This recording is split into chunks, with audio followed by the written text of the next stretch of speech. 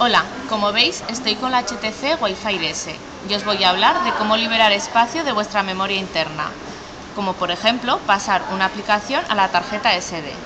Para ello, vamos al menú de aplicaciones, vamos a ajustes, seleccionamos aplicaciones y administrar aplicaciones. Aquí vemos nuestras aplicaciones descargadas, seleccionamos la que queremos pasar a la memoria SD